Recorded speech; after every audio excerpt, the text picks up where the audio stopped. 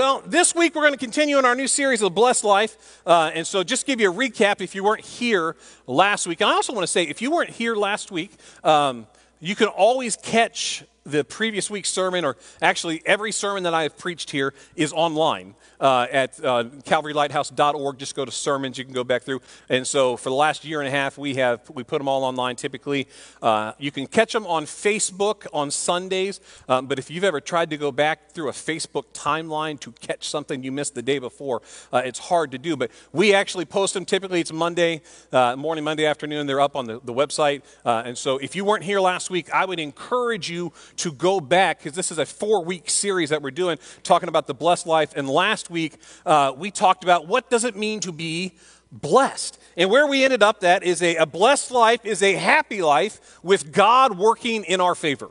Oftentimes, blessed is translated into financial prosperity, uh, and we didn't necessarily want to go down that road because financial prosperity, uh, well, some, we, we know some people that are wealthy and uh, wicked, and some people that are holy and poor.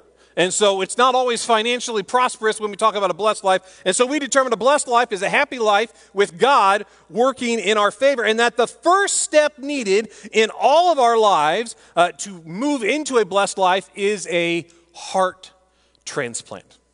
It's a heart transplant. We need to give up a selfish heart.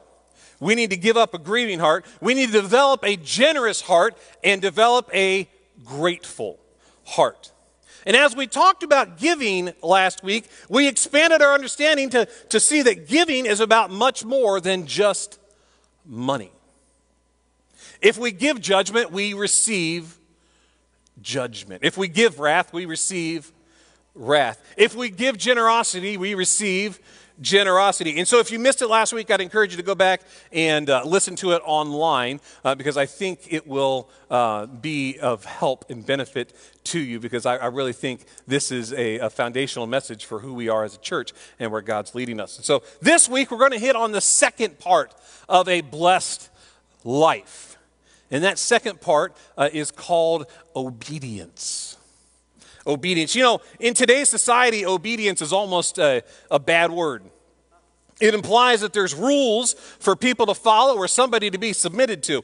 Even in the church, if you talk too much about a standard of obedience or holiness, all of a sudden you get accused of being legalistic, right? Churches are funny. People are funny. We don't really like people telling us what to do, do we? No, we don't, we don't like it. And I, you know, I, I think that's one of the challenges that we have in church is that we oftentimes, or in life in general, we want to go with what we feel is the right thing. Uh, and so, I don't know, we've talked about this before, but, you know, in, in life, depends on how you look at it. Most people look at uh, rules. You know, in, in life, there's, there's, there's sets of rules, right? And how many of you would say, I'm a really good rule follower? How many? Raise your hand. You a good rule follower? Yeah. How many of you say, you know, the rules were written for everybody else? I'm not just asking you to raise your hand, I'm raising your hand, my hand as one of that, those people. You know, in life, there's red rules and blue rules. Uh, red rules do not bend, do not break. You ever, they apply to everybody. Uh, blue rules, on the other hand, those can flex and give. And uh, depend on your personality, depends on whether you think most rules are red or most rules are blue. I'm of the opinion most rules are blue. And so uh, it drives Heather nuts at times. Like when we were at Disney World uh, last year, um, I proved that you can talk your way onto pretty much any ride, uh, whether you have a fast pass or not. Now we didn't. We never lied. We don't lie, but we, you know, we just, we, hey, we're with that group there, which we were with that group. They had a fast pass. But Heather's like, no, just go through the line. I'm like, no, we can get this way. That's for everybody else. It's not for me.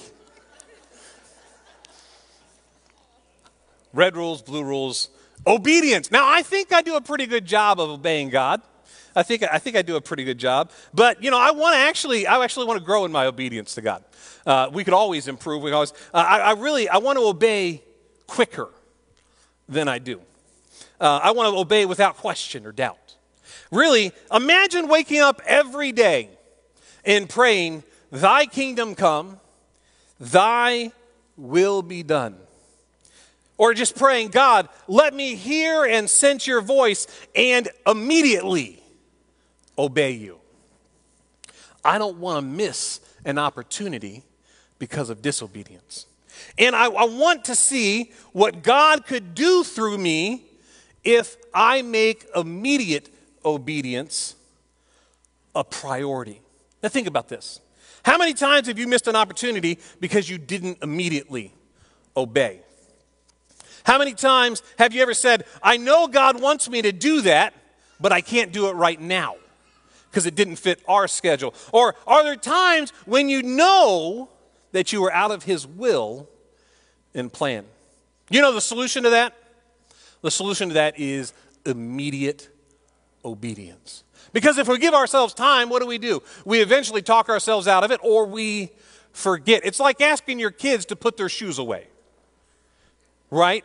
If you don't ask them to do it when they first come in the door, those shoes are going to somehow end up in the pantry because they put them away, but not where you asked them to put away, and they didn't do it immediately. And we're the same way. We ask our, you know, God asks us to do all sorts of things, and if we don't re- respond immediately, oftentimes we get behind and we forget exactly what God asked us to do, and so we kind of do what we think we're supposed to do, but we're not necessarily responding immediately. Here's my goal with the message this morning. I'm praying that, that people in our congregation will take a radical and bold step to pray every day Thy will be done. And to grow in immediate obedience to God. And in doing so, will find their way into the blessed life that God has for them. Now, think about obedience in this way. Why would God bless us with more opportunity and responsibility if we aren't obeying Him in the small things of life? Obedience opens the door to bigger, the bigger things of God. When we are faithful with small things, greater things come. Now, does this make you a little nervous when we start talking about obedience? I, I know, I understand, I've, I've been there. Because obedience sometimes means that you have to do things um, that you aren't comfortable with, that you didn't come up with. There's definitely some anxiety there. We think, you know, what will God ask me to do? What's it going to cost me?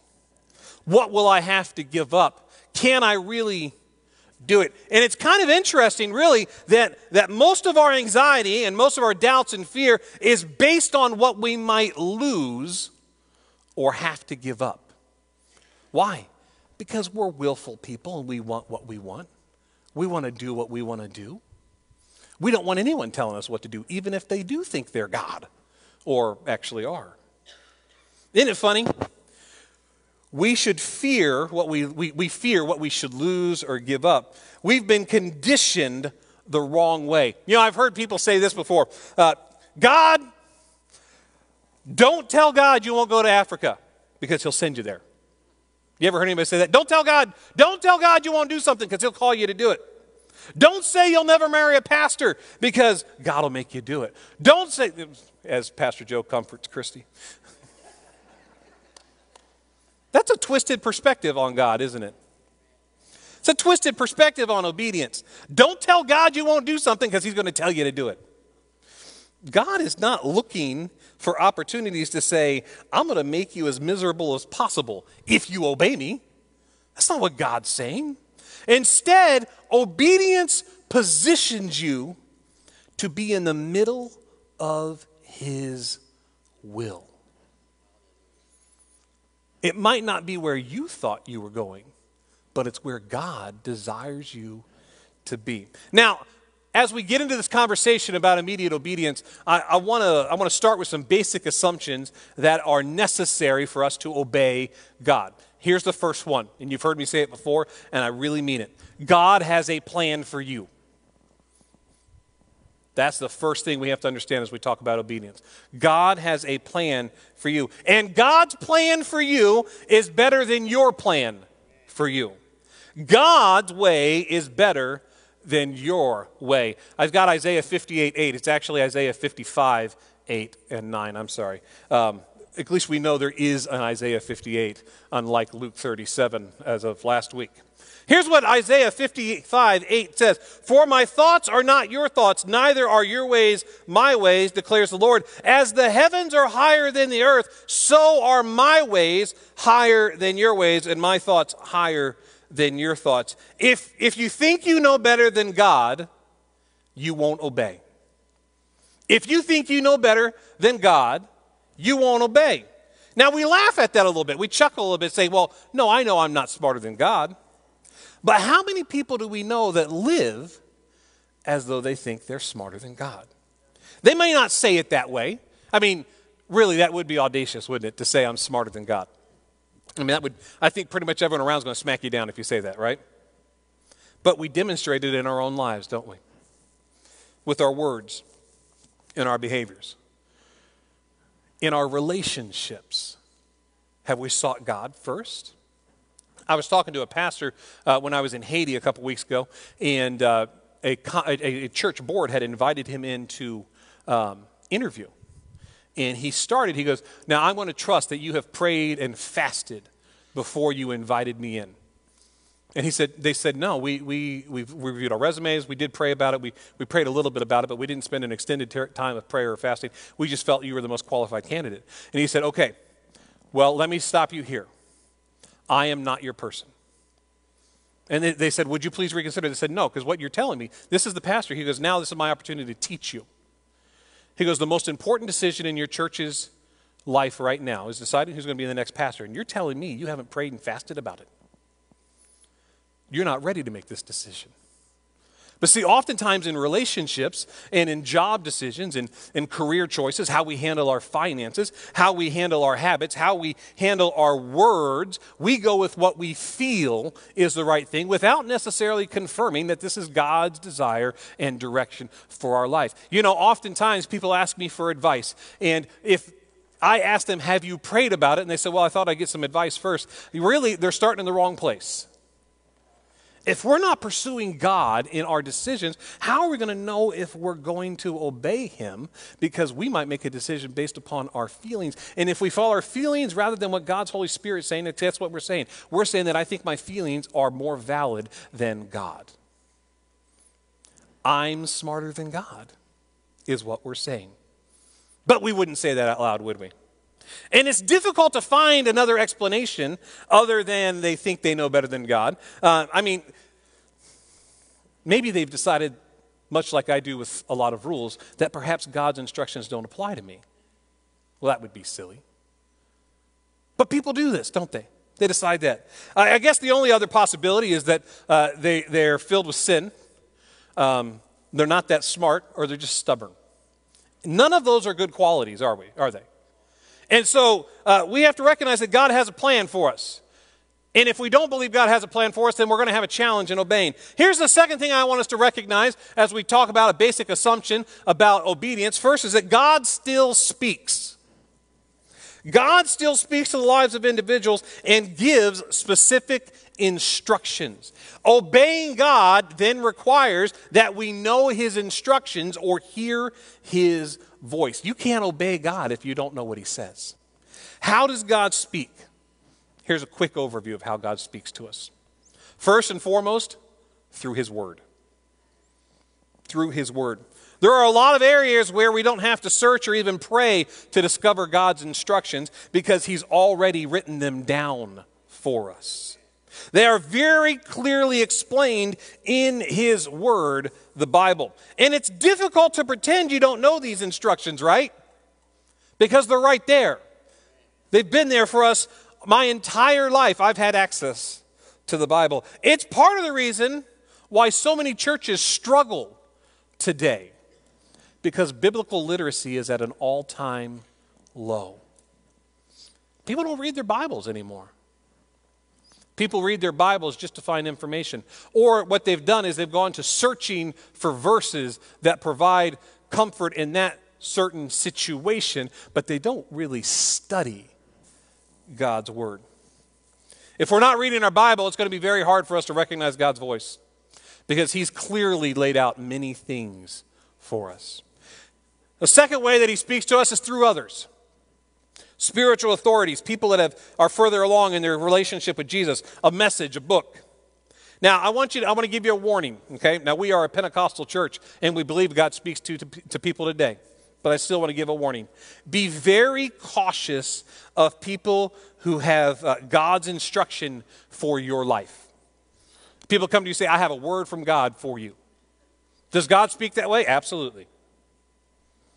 But this way is often abused or misunderstood. It's really, um, oftentimes, it's difficult to separate God's word from their motives.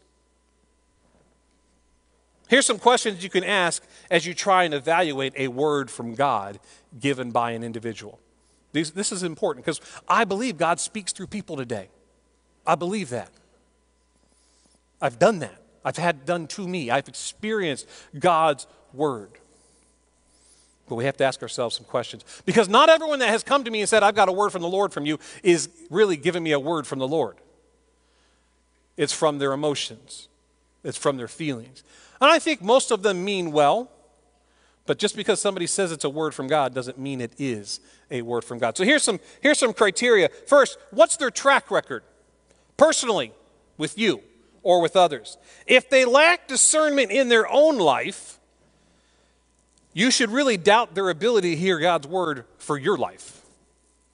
In other words, if they have a history of uh, personal failure or relationship failures, be very cautious about trusting their discernment or judgment for your life. Here's the second thing that we can ask about Who is their spiritual authority? Now, take great caution from words that people give you when they are not under a spiritual authority. There's lots of wacky things out there. Okay? One of the first questions I ask when people uh, want to partner with us in ministry, which is a regular conversation, I ask them, What church do you attend?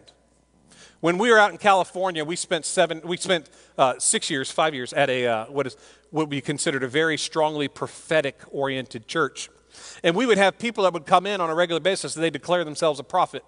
They weren't connected to any ministry. They weren't connected to any broader organization. They weren't connected to any chat church. If you asked them who their pastor was, they couldn't answer the question.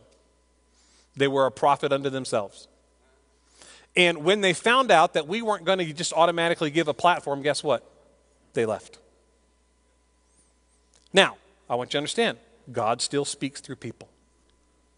God will use you to speak to people. But not everybody that says they have a word from God really does. You know, there's a lot of prophets and preachers who travel around and give people words. The problem is they have no accountability or spiritual authority.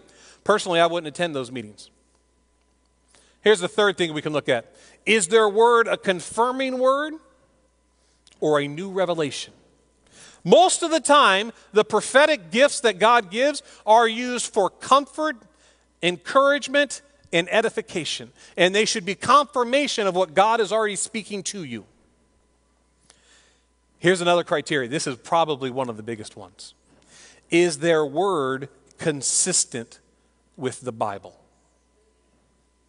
God, any personal word that contradicts God's written word is a deception and a lie. Run from that word and don't let that person be a leader or influencer in your life. Is the word confirmed by spirit by your spiritual authorities? You should have spiritual authorities in your life, more than just me as your pastor. There should be those that you're submitted to that help you to grow. That's why we like small groups so much, so you can develop those relationships. God has given your spiritual authorities responsibility for your spiritual growth and journey. If they are reluctant concerning a word someone has given you, be very cautious about that word. Now, this is hard for pastors sometimes. Because there are people that want to be used in that prophetic ministry. And as a pastor, oftentimes I'm privy to information about people because of their relationship to their church and to me that makes me know they're not a good source of God's word for your life right now. And so oftentimes I have to uh, ask people to be cautious. Really let the Holy Spirit speak to you and see if He confirms what that's supposed to mean to you. Here's the next question I, I, you need to ask yourself as you're discerning if it's God's word for your life Does their word appeal to your ego? God has given me a word for you. You're going to have millions of dollars, hundreds of followers. You're going to have the most beautiful wife, the best house. We're like, yeah, I, I received that word. Well, yeah. Who's, going to, who's not going to receive that word? Listen. If it, if it appeals to your ego, be cautious. That's how manipulative people gain a following or something, uh, sometimes a big offering. If somebody offers to sell you miracle water from Chernobyl,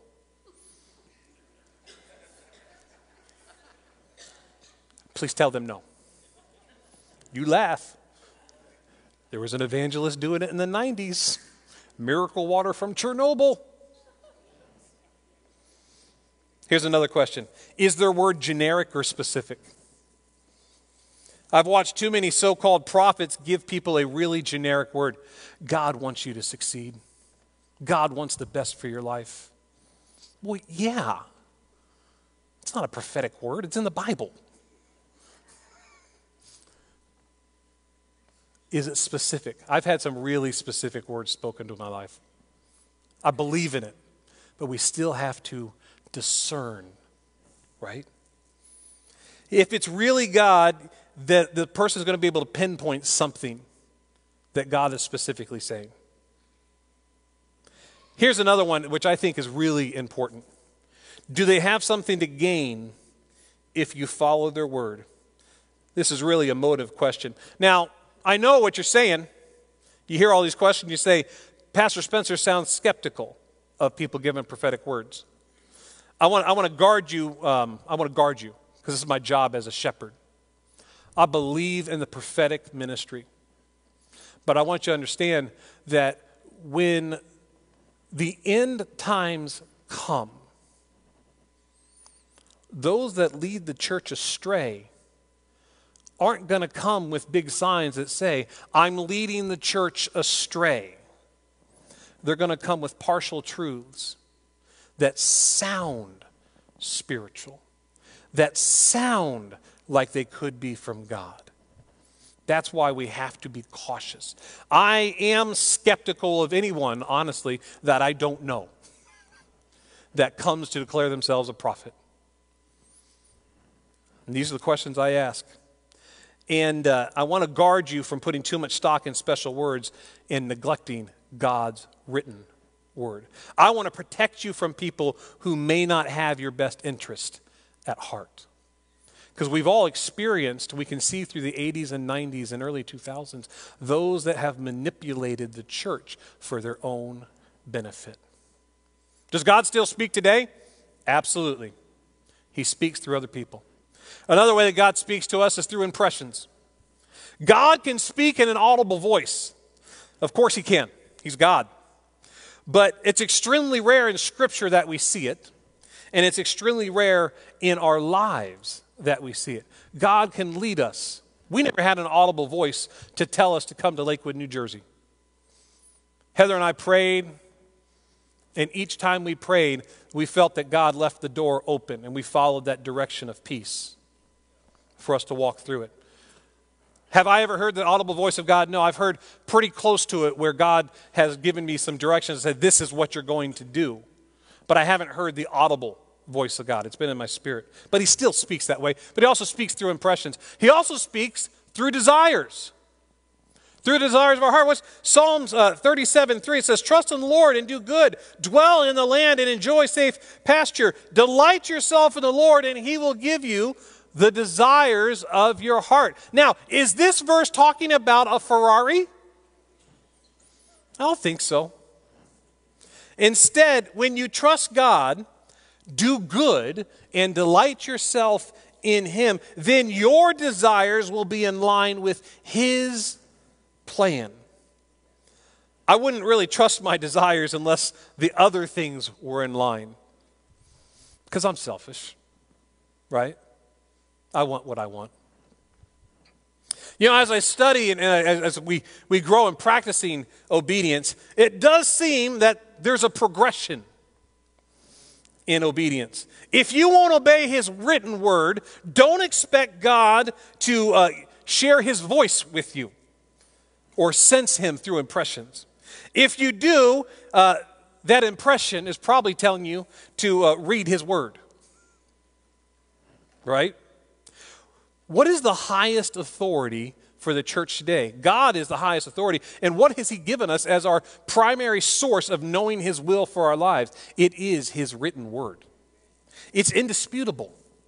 If you aren't willing to obey the word of God, then you are choosing to live in disobedience and experience the consequences. It's a very important principle. A word from God will never contradict his written word.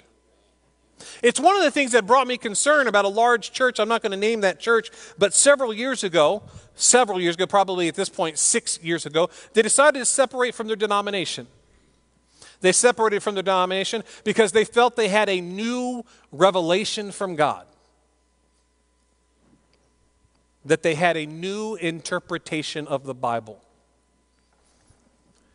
You know, my hermeneutics teacher, hermeneutics is the, the study of Scripture in context, um, what it meant historically and, and such. My hermeneutics teacher, he always told us listen, if you're studying a Scripture and you come up with a translation of that Scripture that nobody else has come up with in history, you're probably wrong. Because the, body, the Bible has been studied for a couple thousand years at this point. And so if you come up with something new that no one else has come up with, you've probably missed it. That's why we study the Word of God. And that's why we trust the Word of God. You know, people often say things like, I, I think God wants me to be happy. Show me that in the Bible. Actually, the Bible says in this life you will have trouble. But take heart. You know, it's like when they were writing uh, the original Constitution, uh, they wanted to guarantee life, liberty, and they originally wanted to inc- include and happiness. But you can't include happiness as a guarantee. So, what does it say? Life, liberty, and the pursuit of happiness. Nowhere in the Bible does it say God wants you to be happy. He wants us to serve Him and love Him. Uh, I actually heard this one time, and con- uh, somebody told me, I don't have to forgive that person. They haven't asked for it. That, that's actually the exact opposite of what the Word of God says. The starting point for obedience is the Bible. For many of us, uh, we have just found the first hurdle in our journey to a blessed life of obedience. We've got to line up with what we already know. That comes first. Here's another thing we need to remember about obedience obedience is a learned behavior. Hebrews chapter 5, uh, verse 7, it says, During the days of Jesus' life on earth, he offered up prayers and petition with loud cries and tears to the one who could save him from death. He was heard because of his reverent submission. Although he was a son, he learned obedience from what he suffered. And once made perfect, he became the source of eternal salvation for all who obey him. Jesus learned obedience. If he had to learn obedience, don't you think that we will have to learn obedience also? It's interesting, but the more you obey, the easier it becomes to obey the next time. You discover the benefits of obedience and you develop a habit. Obedience leads to more obedience. The fourth thing I want us to know about obedience is that uh, the best and safe, safe, safest place to be is the center of God's will. Immediate obedience ensures that you are in His will. I'd rather be in a dangerous place in the will of God than a safe place out of His will. The safest place is to be in the center of God's will. The most dangerous place to be is out of His will. You know, as we talked about the blessed life, as we talk about the blessed life, here's an important thing I want us to remember blessings follow obedience. Isaiah 119 it says if you are willing and obedient you will eat the best from the land but if you resist and rebel, you will be devoured by the sword. for the mouth of the Lord has spoken. I assume you want to obey God because you want to live in his blessing. Joshua 1 7, it says, Be strong and very courageous. Be careful to obey all the law my servant Moses gave you. Do not turn from it to the right or the left, that you may be successful wherever you go. In order to be successful, Joshua first had to be obedient. You will never enjoy the full blessings of God if you refuse to obey the instructions of God. Obedience leads to the blessed life. You say, well, then why wouldn't somebody obey God immediately? Well, I don't know. Actually, I have some thoughts. But how many of you have struggled with obedience? I think we all have. I have. Why? Because I'm a selfish person. I want what I want. I don't like people telling me what to do. Very few of us really do enjoy it. So let's look at some of the obstacles to obedience. I think the first uh, obstacle to obedience is reason. Reason. God, this doesn't make sense to me. How many people in the Bible did something that didn't make sense in response to God's instruction? So, you know, Joseph married Mary, even though she was pregnant at the time. Gideon fought a battle with just a few men. David faced a giant with a slingshot. Shadrach, Meshach, and Abednego went into the fire.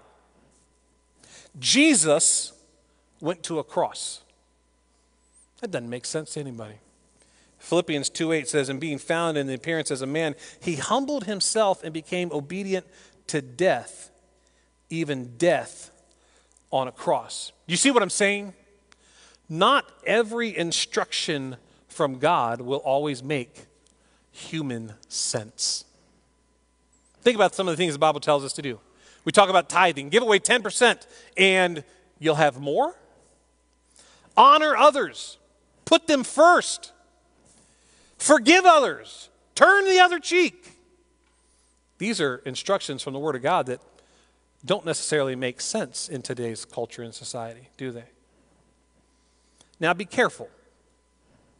Just because something doesn't make sense, it doesn't mean it's from God.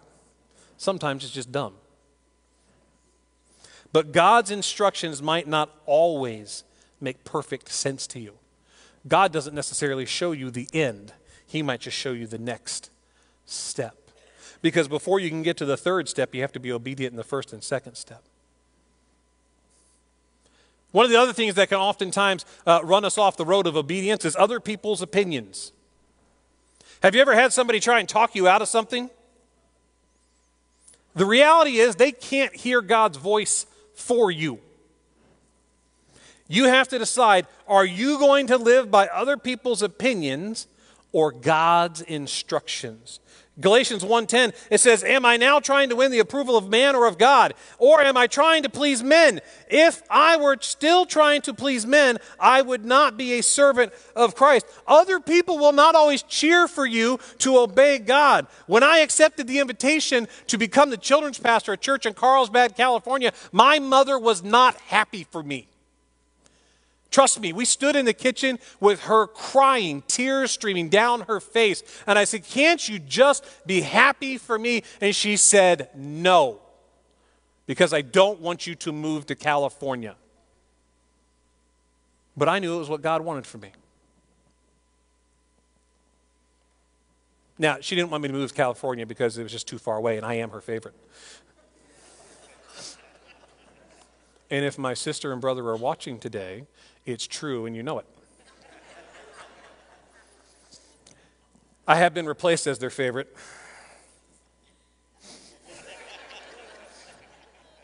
It's true, and I know it. But I know it was God's will for me to move.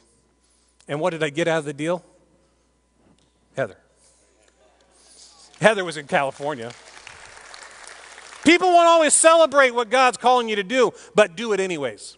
Obey God. One of the other challenges in obedience is past disobedience. In the same way that obedience is learned, disobedience is learned as well. In the same way that obedience can become a pattern, disobedience can become a pattern. What do we call a life built on a pattern of disobedience? We call it rebellion.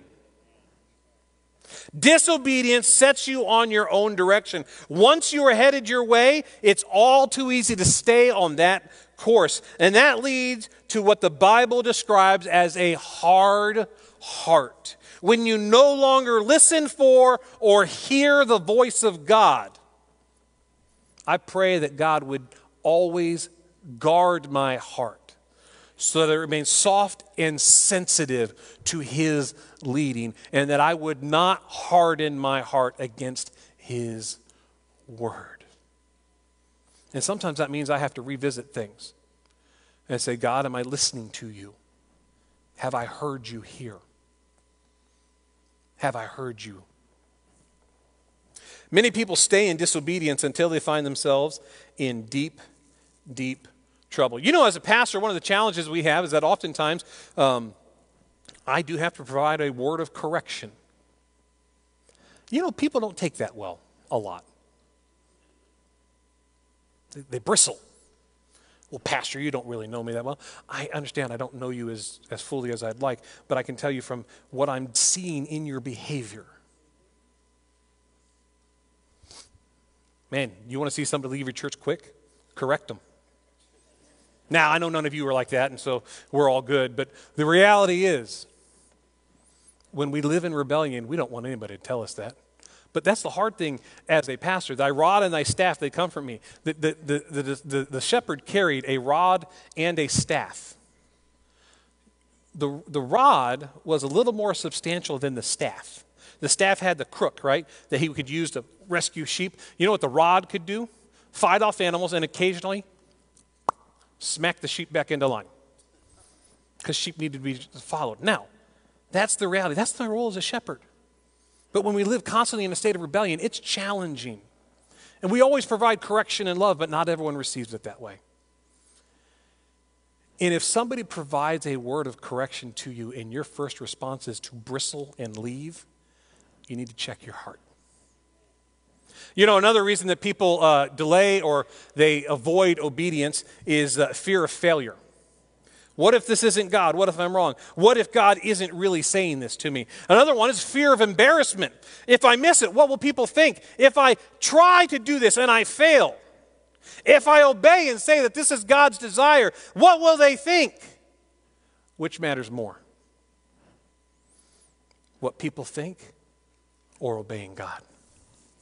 Laziness is another reason why people sometimes don't obey God. Now, we don't want to think about that. But once we get on that couch of comfort, whew, watching football, watching Ohio State beat everybody. You knew it was coming. You know, it takes more work to obey, it requires action on your part. Disobedience is relatively easy in the short run. You just ignore what God's saying. In the long run, though, it's much more painful and difficult to live a life of disobedience.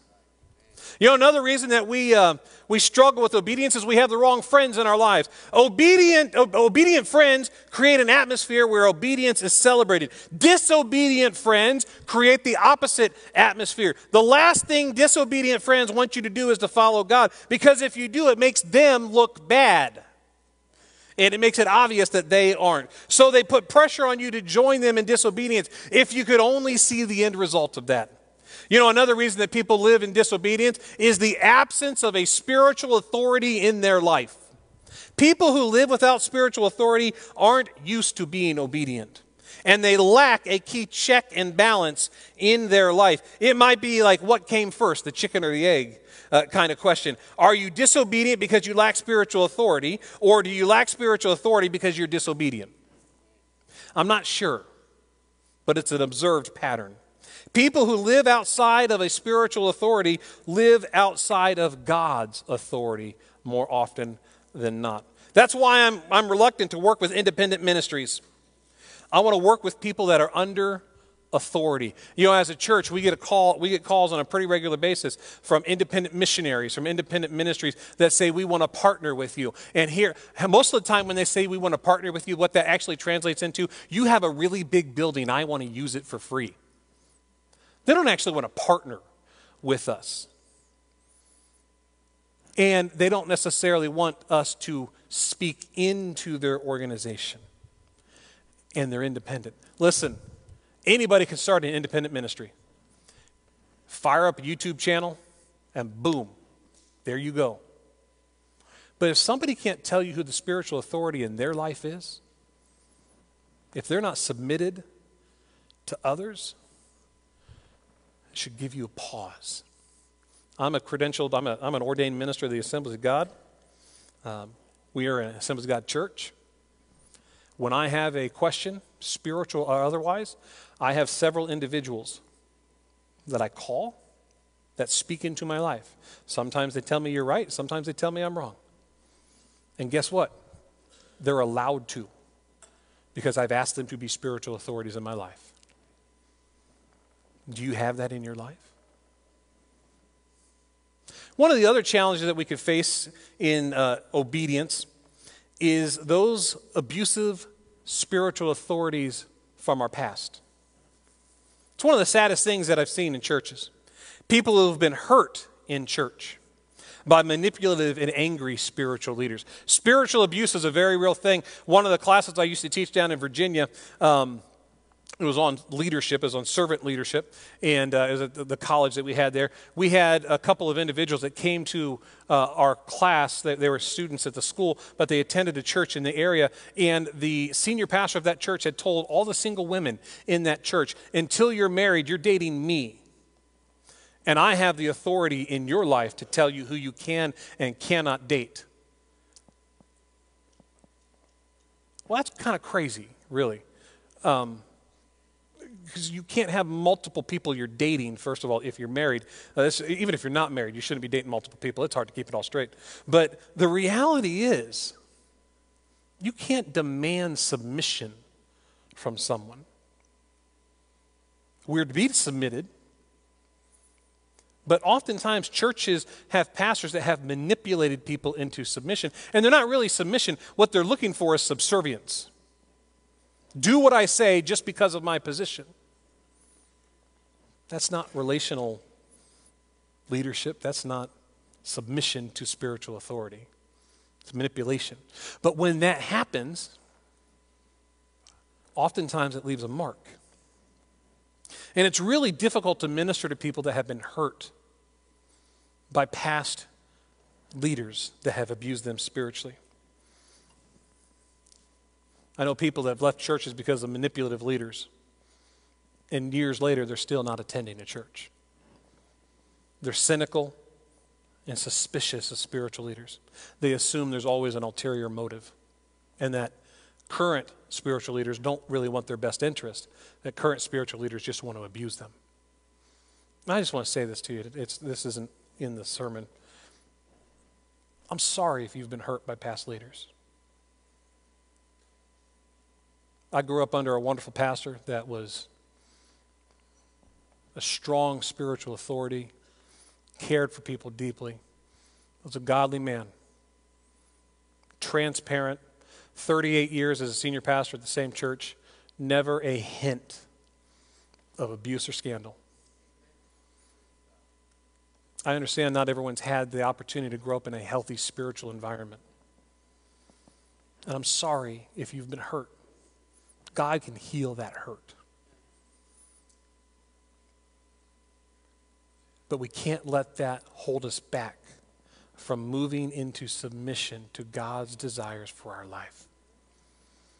And if you need healing for that in a few minutes when we close, that's one of the things I want you to pray about in a few minutes. It's when you've had spiritual abuse in the past, you tend to transfer those feelings and suspicions to any other strong spiritual leader.